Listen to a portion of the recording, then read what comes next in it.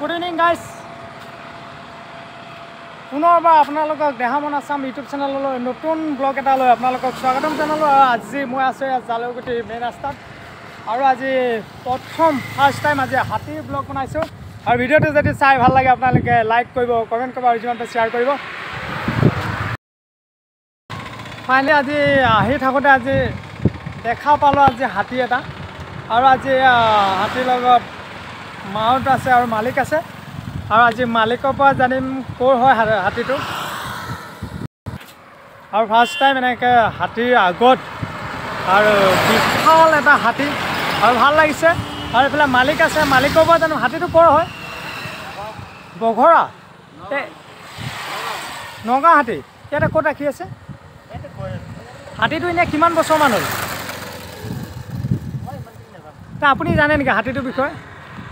হাতীটোৰ ওচৰত লাই যাব পাৰিমনে? সঁচা ভাল লাগিল আজি চাওক এটা বিশাল এটা হাতী। আৰু এই ভণ্টিহঁতে কিবা এটা দিছে। আৰু পাৰিবা পাৰিবা ভাল লাগিল বাৰু। সঁচাকৈ আজি বিহুত ভাল লাগিল।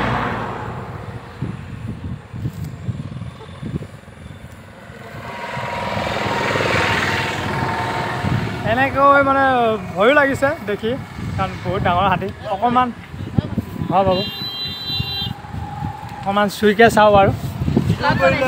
তেওঁ ব্লগ বনাইছোঁ ঠিক আছে আজি মৰিগাঁও জালুকুটি মেইন ৰোডৰ লগত কিমান ডাঙৰ এটা হাতী প্ৰকাণ্ড হাতী আছে মানুহ ৰৈ ৰৈ মানে পইচা দিছে। আৰু ভাল লাগিছে আপোনালোকক লগ পাই। ভাল লাগিল। থেংক ইউ ফাৰ্ষ্ট টাইম আপোনালোকক দেখাইছোঁ বিশাল এটা হাতী।